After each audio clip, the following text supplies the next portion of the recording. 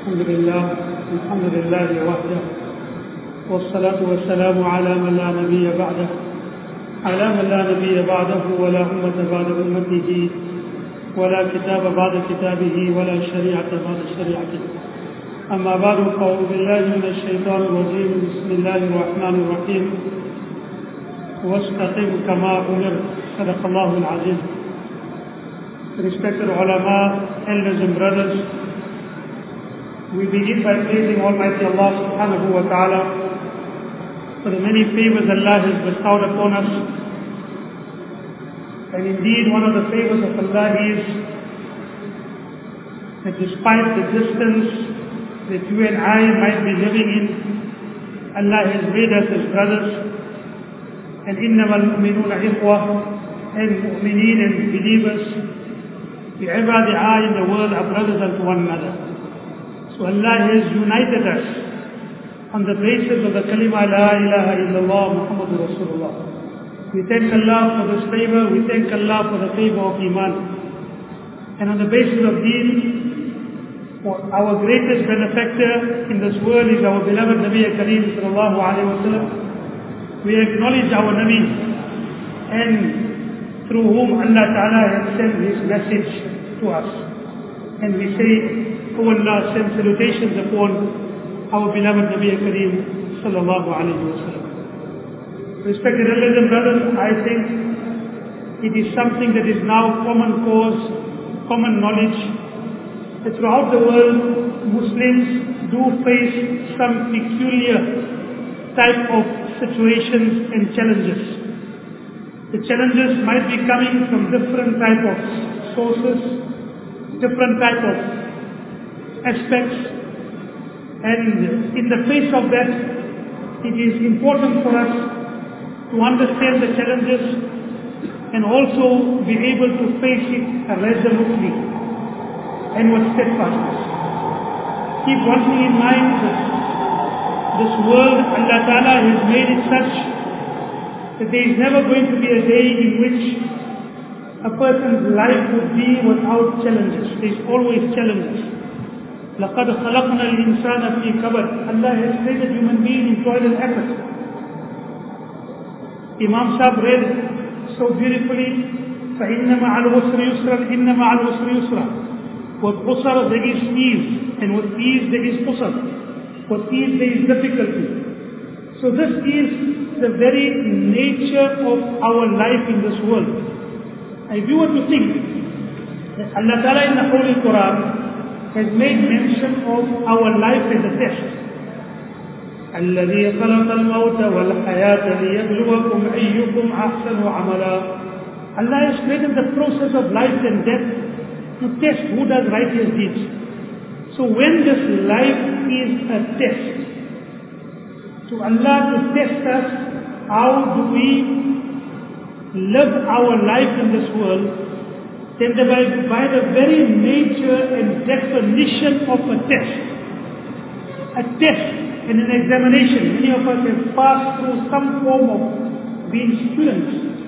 And being students, you and I know that in, in student life there is going to be sometimes, while you write an examination, easy questions, challenging questions. No one when he is writing an examination, no one when he is writing an examination, when there is a challenging question that comes in the examination, throws up his hand in the air. So I'm not going to write this examination, very difficult question. No one does that. Just as there are easy questions that might come that a person might have known it, or it is generally understood by the student body to be easy questions, in a similar manner, they are going to be in the course of an examination challenging questions. And a bright student also knows that many a times the marks that you get, the good marks that you get, it is not based on how you respond to easy questions. It is based on how you respond to challenging questions. So the challenging questions that the teacher will put forward, he waits for the bright and talented students, how does he respond to them, and then accordingly he gives the mark according to how you respond to the challenging questions. So we, when we keep in mind that the entire life is a test, so Allah has made mention that in the course of the test, Allah will Allah will test you with ease. Allah will test you with challenging situations. The, one of the, the tragedies is that when things are easy, no one regards that as a test. When things are easy, no one regards that as a test. But Allah in the Quran not once, many occasions has said that is also a test. And perhaps it's a greater test than the test that comes through difficulties and challenges. قال هذا من فضل ربي Say this is the, the grace of my Almighty. Now you and I are very, very, we are very clever, we are very intelligent. You see this, this verse many a times when a person gets a new car, he gets a new house, he puts that particular verse as a frame or as a sticker in his new car or in his new house. Oh, this is the grace of the Almighty. I got a new car, I got a new house. Very seldom do people complete the verse. Very seldom do people complete, complete the verse. What is the next verse after هذا من فضل ربي ليبلوني أأشكر أم أكفر Allah has given you the grace to test whether you are grateful or ungrateful. Allah has tested you whether you are grateful or ungrateful with the ease, easy conditions I have given you. So how Allah Ta'ala says, now this is about the easy conditions being a test. Allah Ta'ala makes mention of the difficult situations also being a test. ولنبلونكم بشيء من الخوف والجوع ونقص من الأموال والأنفس والثمرات I will test you by, by diminishing your wealth. I will test you with fear and anxiety. What is going to happen to us in the future in this country? I will, I will test you. من الخوف والجوع ونقص من الأموال your, your business margins will come less ونقص من الأموال والأنفس والثمرات وبشر الصابرين and Allah Ta'ala gives clear guidance to those people who persevere the word sabr is not patience. The word sabr is persevere. Sabr we normally translate English as patience. It's, an incomplete translation of sabr. Sabr means perseverance upon the commands of Allah irrespective of the situation. So Allah makes mention of easy conditions as a test, 19th surah of the Quran. Allah makes mention of difficult situations as a test, second surah of the Holy Quran. ذكروا الله في سورة الفجر فأما الإنسان إذا ما ابتلاه ربه فأكرمه ونعمه. فيقول ربي أكرمن. الله تيست يو إذا ما ابتلاه تيست يو by giving you things that you like by making things easy. فيقول ربي أكرمن. Human beings say ما الله is happy with me ما الله is honoring me. But look at Allah puts it. When I test you with easy conditions, you say, Allah is happy with me, Allah has honored me. Just, just look at the train of thought in these verses. أما الإنسان إذا ما ابتلاه فقدر عليه رزقه And when Allah tests you with difficult conditions and your rizq becomes less, فيقول ربي أعانن Human being says, my Allah has forsaken me. My Allah has forgotten me. What does Allah respond to our understanding? That when easy conditions come, we are happy. Allah is happy with us. When difficult conditions come, we say Allah has forsaken us. Human beings' normal reaction to ease and difficulties like that. What does Allah say with regard to our normal instinctive reactions? Kalla, Kalla, no, no, this is not the case. Kalla, this is not the case. If Allah brings easy conditions, also part of the test. Allah brings difficult conditions, also part of the test. Allah wants to see how you respond to Allah's commands in different conditions. Allah wants to see how you respond to Allah's commands in different conditions that Allah brings forward to you. That is the, that's the reality of our world.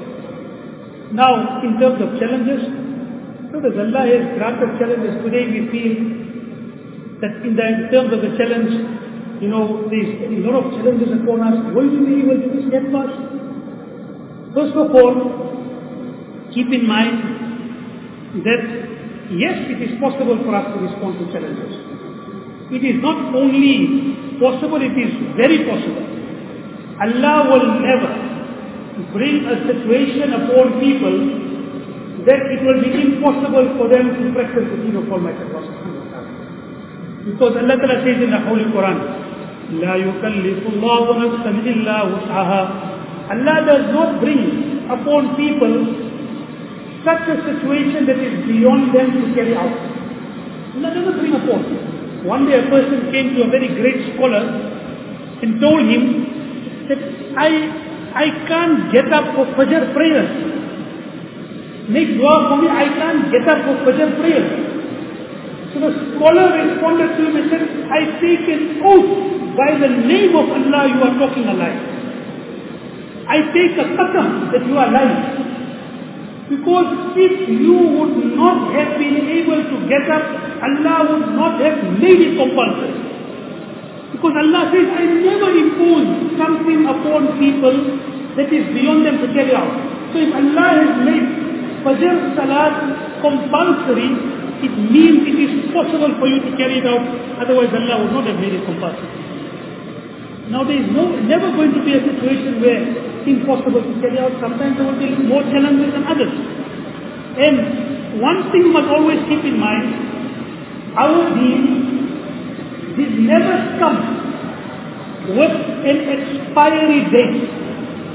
Let me repeat it. Our deen has never come with an expiry date. Many times we hear people say, in some of the modernist type of thinking, they say, you know, the Sharia and the laws of Allah Ta'ala are now in the 21st century no more relevant to the time that you and I are living in. It's no more relevant. Nowadays we are, we are very advanced. You can't bring Sharia that was 14 centuries back. You can't bring it now. So normally I ask them this question. Since when was Islam dated for it to be outdated? Since when was Islam dated for it to be outdated? Is there any ayat of the Quran that you see that Allah has said only relevant till 2000? Have you seen ayat something becomes outdated when it is dated. When it is not dated, how can it be outdated? There is no expiry with regard to any of the commands of Allah Ta'ala. It's not like, you know, someone, one husband or one day seeing his nikah certificate. So the wife said, what are you looking for? Say, I'm looking for the expiry date. No expiry date in the nikah certificate, no expiry date in the Quran. There is no expiry date. Islam is not dated for it to be outdated. That's one. The second thing is when we talk about challenges, it's our challenge. is our challenge to practice upon the deen of Almighty Allah subhanahu wa ta'ala more than what it was for the Sahaba Ikram in the initial stages of Islam? No, never. As Umar ibn Khattab radiallahu ta'ala, one day asked Khabbab bin Arf, Oh Khabbab, tell me, I heard that you were tortured when you accepted Islam. Tell me what happened to you. Show me what happened to you. So Khabbab radiallahu ta'ala lifted up his kurta and showed Umar ibn Khattab the, his back. And Umar ibn Khattab radiallahu ta'ala when he saw his back, started crying and weeping and he said, Khabbab, what happened to your back? Look at the marks, look at what, what, what is left of your back. Explain to me what happened. So Khabbab said, O Amir al-Mu'mineen, when I accepted Islam, my family lit up a fire. And they dragged my body and my back through the fire to try and make me renounce Islam. And with the fat that came out of my body, that fat extinguished the fire that was lit up for me. That's how the fire became extinguished. And the marks that you are seeing on my body is in reality that torture marks that I had when I accepted Islam. Bilal radiallahu ta'ala used to be dragged on the streets of Makkah Mukarramah, dragged, on the hot Arabian desert sands, and he was beaten up by terms by the chieftains of Makkah, And as he was beaten up, he was saying, Allah, Allah, Ahad, Ahad, the one. Zinnira radiallahu ta'ala was a slave of Umar ibn Khattab who didn't accept Islam in the beginning. He, despite his physical prowess, despite his physical strength, he used to beat up the Zinnira to such an extent that he used to get tired of beating up. And then he used to stop saying, I'm not stopping because I have, I have compassion for you. I'm, I'm stop beating you because I'm tired. Now, I ask you, brothers, is our difficulty in complying with the command of Allah Ta'ala to that extent where to take the name of La ilaha illallah was akin to death? No, no, no, it's not like that. So we must have a perspective with regard to some of the challenges we face. I'm not saying the challenges are not there. Obviously, in challenges we have to face, we have to face it resolutely and take the necessary steps with regard to it. The first aspect is that we have a perspective with regard to. Is our difficulty in complying with the commands of Allah Ta'ala in the environment that we are, as difficult as it is, because the environment is not conducive. You do get sometimes, you know, pointed out that you are fundamentalist, you are like this, you are like that, you are a third force, you are not loyal, etc. All of those things are there. But it is not it's akin, or it is not in any way equivalent to what happened to the Sahaba Ikram. So have, have a perspective. The third thing with regard to dealing with this type of difficulties is that the greater the difficulty, the greater the reward by Allah Ta'ala to practice upon the deen of Almighty Allah subhanahu wa. Nabi sallallahu alayhi wa sallam has said in a hadith that a person who practices upon the deen of Almighty Allah subhanahu wa ta'ala at a time when other people are finding it difficult to comply with the command of Allah Ta'ala, Nabi Kareem sallallahu alayhi wa sallam used the word kahijrati ilayhi he is like that person who made hijrat while I'm alive from Makkah to Medina. Brothers, just understand this. That in the time of Nabi Karim one of the greatest accolades, one of the greatest acts of reward was to migrate from Makkah to Medina. The greatest hijrah.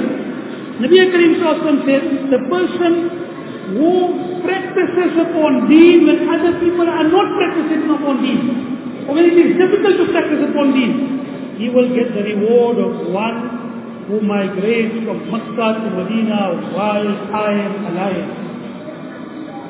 So now in this type of situation has, has given us an opportunity to respond positively to these type of challenges.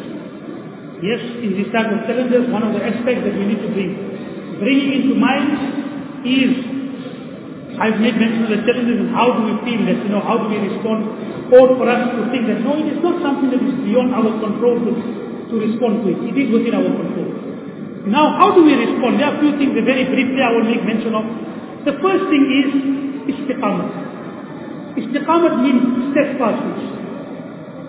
You know, Nabi Kareem sallallahu alayhi wa sallam, one day, Sahaba Ikram Ridwanullahi Ajma'in, saw the first signs of white hair appearing on the beard of Nabi sallallahu and they asked, Ya Rasulullah, why, why are you becoming old?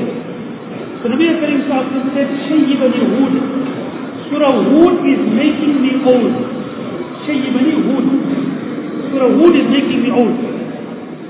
The ulama went through Surah Hud and said, what was the ayat Nabi Karim was referring to? It said that Surah Hud is making me old. Most of the ulama came to this ayat. وَاسْتَقِمْ كَمَا أُمِرْتَ be steadfast upon what Allah has commanded you to do. Brothers, this is a very, very amazing ayat. Reminds me of a very similar type of hadith where one day a Sahabi came to Nabi Karim Sallallahu Ya Rasulullah, I, I want advice, but I don't want long advice. I don't want long lectures. Give me short advice that I can be steadfast upon it. So Nabi Karim Sallallahu said, قُلْ آمَنْتُ بِاللَّهِ ثُمَّ Say, I believe in Allah, then remain steadfast upon that till the day of death, till the day you die. I don't give you any other advice. That advice is sufficient for you. قُلْ آمَنْتُ بِاللَّهِ ثُمَّ اسْتَقِمْ Say, I believe in Allah, then you remain steadfast upon that till the day you die. Brothers, the steadfastness, you and I can think that is a very short advice. No, no, it's a very comprehensive advice. It's an advice that covers our entire spectrum of life. Remain steadfast upon the principles of Islam, no new variations of Islam. من أحدث في أمرنا هذا ما ليس منه فهو رد Whoever innovates something new in religion, it will not be accepted from him. Remain steadfast upon what Allah commands you to do in terms of your ibadat. If Allah has commanded you five times daily salat, do it. No matter how hectic a life you might lead. How people say today we are very busy. That time the people could read five times daily salat because they were not so busy. No, no. Istiqamat. Remain steadfast upon that particular command of ibadat, no matter how hectic a life that you might lead. Remain steadfast on the economic principles of Islam that requires people to stay from an, away from an interest-driven economy. No matter how widespread it becomes in the economic field, I will remain steadfast upon Islam which tells me that interest is harmful to you, harmful to the community. It is declaring war against Allah and His Rasul. I will stay away from it. I will remain steadfast upon what Allah commands me. I will remain steadfast upon the moral conduct of Islam that does not allow relationship between male and female outside nikah, no matter how widespread it becomes amongst my peers, my friends, my young people. No, no, I will remain steadfast. Now do you realize why Nabi Sallallahu said, قُلْ آمَنْتُ بِاللَّهِ ثُمَّ اسْتَقِمْ Remain, say I believe in Allah and remain steadfast upon the commandments. Allah told me And that is why Nabi Sallallahu said, this ayah, according to the ulama, is making me old. وَاسْتَقِمْ كَمَا أُمِرْ Remain steadfast upon what Allah Ta'ala has commanded me to do. So that is the first thing, brother. Then istiqamat is not making ibadat or, or doing worship, devoting yourself occasionally to Islam. Remember that. Istiqamat is not devoting yourself occasionally to Islam. Istiqamat means to remain consistent upon what Islam has commanded all times. Nabi Karim had said, أحب الأعمال إلى الله أدومها وإن قل. The most beloved deed in the eyes of Allah is that which although little is done consistently. I'm going to make one request for my benefit. Can I make this request for my benefit? Brothers, do one deed. One deed that you do without fail consistently every day of your life. Say inshallah. One deed, every day, without fail. You do it every day. It might be, I will read two rakats of Salatul Hajat before I leave for my work, for my studies every day. Or I will read Yasin every day of my life. But don't, don't leave it. It might be a small deed. It will not take you more than three, four minutes. But do it on a daily basis. Inshallah, you will see the benefit of it. The most beloved deed in the eyes of Allah is that because oh, little is done. And inshallah we can do. Make one deed. Maybe two rakats of salat over and above your faraj. Over and above your normal. But one deed that you will do every day. Inshallah we'll do that inshallah. It might benefit me because I'm telling you, you make amal, I will get the reward inshallah. Istiqamah. The second important thing that I'm going to say, brothers, is let us play our role in changing perceptions. We must play our role in changing perceptions. And keep one thing in mind that today you and I are living in a world where we cannot remain in isolation. There was perhaps a time, maybe say two decades ago, there was a, perhaps a time when Muslims in many parts of the world, I've seen this, I went to UK almost a dozen times. I've been to Canada three, four times. I've been to Australia two, three times. I've been to South Africa where they face very similar concerns that you have here in Sri Lanka. There was a time that Muslims could remain in one corner, practice their deen, no one used to worry about them, they used to live their life, and that particular life, people, they used to carry on doing their life, and it shouldn't feature in mainstream. Let them do what they want. World used to carry on, government used to carry on. The unfortunate part, or the fortunate part, Allah knows, is after a particular time in recent history, Muslims cannot afford to be outside mainstream news because Muslims are mainstream news. Understand what I'm saying? There could be a time when you used to stay away from things no one used to worry about. Now you can't stay away from things because you are mainstream news. You are the one that people are discussing. You are the one that people are talking about. Whether you go to the United Kingdom, whether you go to Canada, whether you go to America, whether you in Sri Lanka, South Africa, throughout the world, you are the one that people are talking about. What role do you play in the world? Are you a threat to the world's security? What, what is your situation? So when people are discussing you, you are the point of discussion, whether you like it or not. If you stay away from that particular discussion, people are not going to stop discussing you. People are not going to stop discussing you. You are the point of discussion. So either you play a role in how people perceive you, or people are going to perceive you without your contribution. And then when they're going to perceive you without your contribution, it's going to be an, an incomplete understanding of you. So this particular aspect that people feel, let me stay in one corner of my house, let the work carry on, it, it, it used to work, but previously it can't work in this time. In isolation, you can't change people's perception. You can't change negative perceptions. And isolation, you can't change the tide of events. So for you to say, I'm going to sit in my one corner, I'm going to sit in my, call it a khanqah spiritual retreat, and my masjid, in today's time is not going to work. And neither do we, neither do we propagate and advocate the other extreme. Neither do we advocate the other extreme, that you become part and parcel of the entire society and community where there is no distinction between you and others. So neither can a person remain in isolation, where he can't change people's perception, can't change the tide of events, or he can't assimilate, where there will be no distinction and no difference between Islam and other religions. So neither are these two extremes plausible, and neither are these two extremes practical in the day and age that I are living in. You can't isolate, you can't assimilate. Man tashabbaha biqawmin fahuwa minhum. If you assimilate, you, you lose your Islam. You will never remain a Muslim. Islam is very sensitive about its distinctive nature. Let me repeat this. Islam is very, very sensitive about its distinctive nature in terms of ibadah, in terms of its way of life.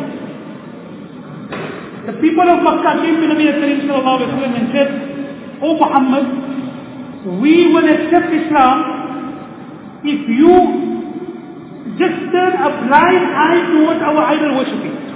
If you just pass a hand over our our our idols. Allah Ta'ala replied, La a'budu ma ta'budun wa la antum. You will, you will not worship what they are worshipping. We don't expect them to worship Allah while they are worshipping somebody else. You and I, we don't perform fitna and salah three times in the day. Which are those three times? Sunrise, sunset, zawal. Why? Because there are people who worship the sun. They worship the sun during those three times. If Muslims make salah during those three times, people might get a wrong perception that Muslims are worshipping the sun. Therefore, despite the fact that Allah loves Sijda so much, الساجد يسجد بين قدميه الرحمن A person who makes Sijda, it is as if he is making Sijda on the feet of Allah Ta'ala. Allah says it is haram for you to make Sijda at this time. Why? People will feel that there is no distinction. And Allah Ta'ala wants to place the distinction. So we can't assimilate, we can't be like one because we are different in terms of our certain fundamental principles. And yet at the same time you can't isolate. What do you do here? You integrate in the society without assimilating, without sacrificing your norms and values, but you go into the society and you show people what Islam is all about. And you change stereotypes by the manner you conduct yourself in mainstream society, not in isolation. You do not assimilate, but you don't isolate. You go into mainstream society, in your working place, and you show people what Islam is. Let me give an example with regard to this. Hazrat Zulekha, Hazrat Zulekha, Zulekha, when she was accused about falling in love with Yusuf alayhi salatu wasalam, وقال نسوة في المدينة امرأة العزيز تراود فتاها عن نفسه قد شغفها حبا The woman of the city said Zulekha has got in love with her slave, with her slave. Love has made her blind. She has been upon the wrong path. So Zulekha, instead of writing pamphlets, Zulekha called all of them فلما سمعت بمكرهن أرسلت إليهن وآتلت لهن متكعا She made them sit on comfortable reclining cushions, gave everyone a knife, gave them something to cut, and then she told Hazrat Yusuf, you make your appearance when they are about to cut that fruit.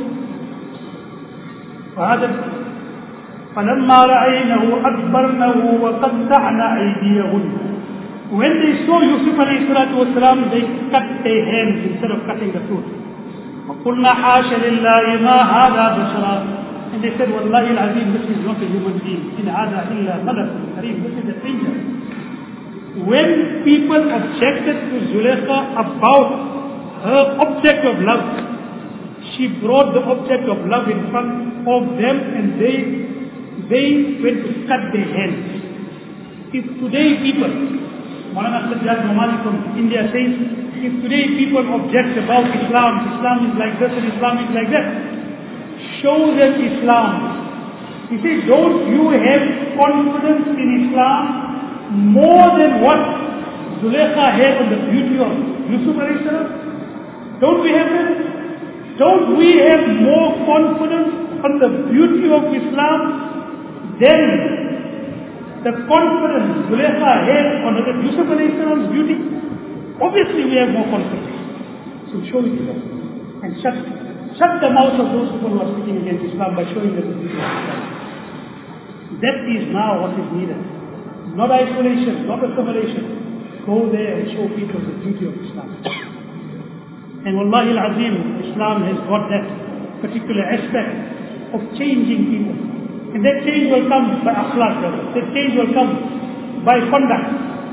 I'm not in any way diminishing the role of ibadat. Ibadat is very important. Ibadat is very important. Bunya al-Islam ala khams. Islam rests upon five pillars. And the five pillars are shahadat, the kalima la ilaha illallah Muhammad Rasulullah, and the salat, zakat, hajj and zakah. That is true. But let me tell you, let me ask you one question. If you go to a person's house, you go to a person's house, and you say to a person, you got a very beautiful house because your foundation is very nice. Your foundation is very strong. What will that person say? How can you judge the beauty of my house by my foundation? The foundation is needed for the house to stand. Without it, the house won't stand. But you're not going to judge the beauty of the house by the foundation, as important as it is. How are you going to judge the beauty of the house? You're going to judge the beauty of the house, and the house is beautiful. The house got a beautiful door, got beautiful furniture, got beautiful carpets, beautiful aesthetics, and a beautiful house. And you tell a person, Alhamdulillah, what a nice house you got. What a beautiful house you got. So people are going to judge the house by the aesthetics of the house. As important as your ibadat is, because without it, your house cannot stand. As important our ibadat is, without it, our Islam cannot stand. People are not going to judge Islam by your ibadat. Your ibadat is between you and Allah. People are going to judge Islam by your conduct with them. What is your conduct with them? How have you, how have you dealt with them? How is it possible that Nabi Kareem sallallahu alayhi wa sallam in a short period of time changed people who were hostile towards him and we staying in a community, I tell the same thing to my brothers in South Africa, staying in a community who had not been hostile with you, you have not been able to change the perception. What is the reason? Why have you not been able to change perceptions? Why have you not been able? Nabi Karim changed people who did not want to see the Nabi of Allah. he changed people's perception who did not want to see him. Amr ibn al-As, when he accepted Islam, towards the end of his life, Amr ibn al-As told his son Abdullah, Abdullah, I hope one thing will save me on the day of Qiyamah. And Abdullah said, what will save you? He said there used to be a time when there was no one's face that was more hated by me than the face of Muhammad ibn Abdullah. But when the Nabi Karim showed me his akhlaq, I became a Muslim. And today there is no one's face and no one's name that I love more than the Nabi of Allah subhanahu wa ta'ala. Maybe Allah will save me on the day of Qiyamah. I was a mushrik. I spent so much time against the Nabi of Allah Ta'ala in fighting. But Allah Ta'ala changed me by being close to Nabi Karim because of his akhlaq, because of his conduct. If you wear good clothes, if you wear good clothes, then people's eyes will remember you. But if your akhlaq is good, people's heart will remember you. If you wear good clothes, people's eyes will remember you. That's why very smart, so smart, okay, very good. But if your akhlaq was good, people's heart will remember you.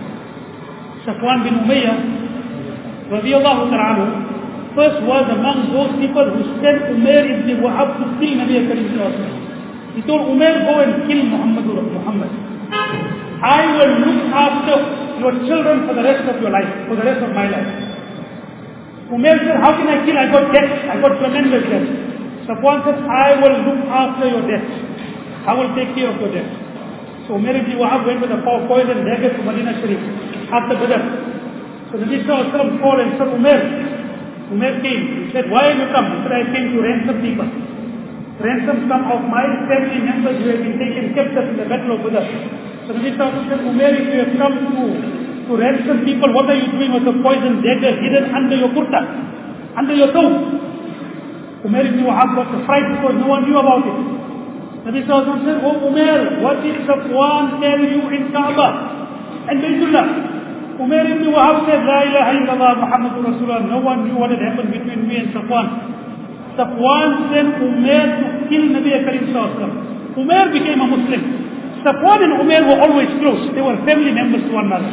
After the conquest of Makkah, when Muslims conquered Makkah, Safwan didn't want to see the conquest of Makkah by Muslims.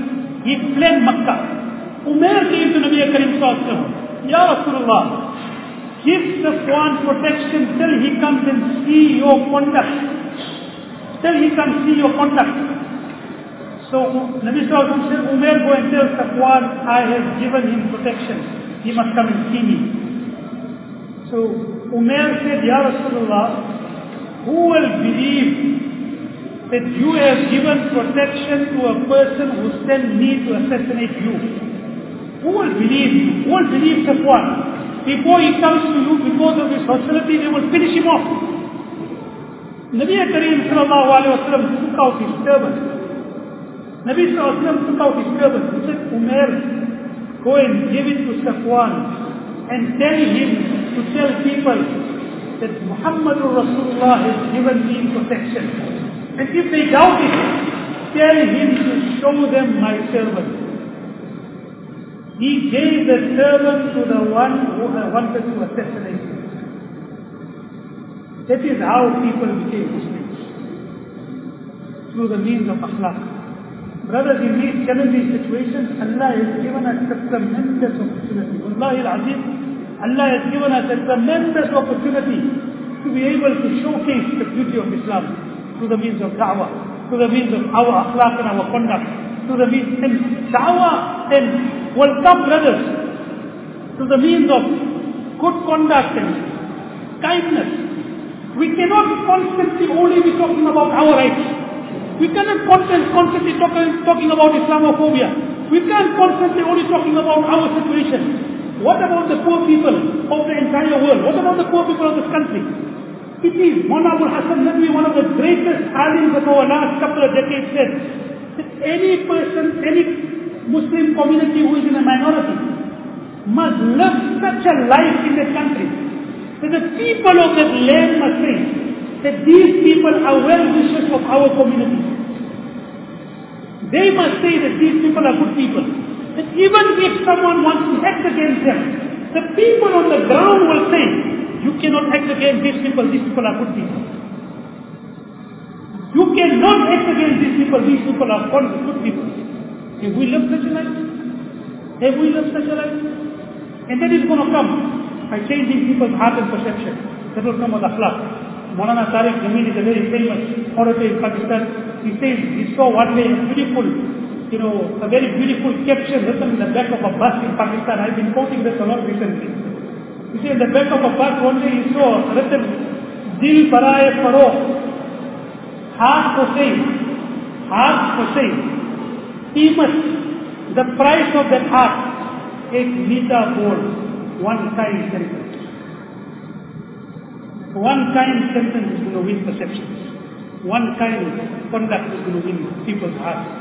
Good akhlaq is going to change without assimilating, without isolation. I've given you a small what I heard from our ulama. May Allah give us a very making. Inshallah, I'm sure that you will take this particular message out to other people whom you meet it will become the means of our goodness it will become the means of our our salvation both in this world and the hereafter. May Allah give us a understanding, making amal.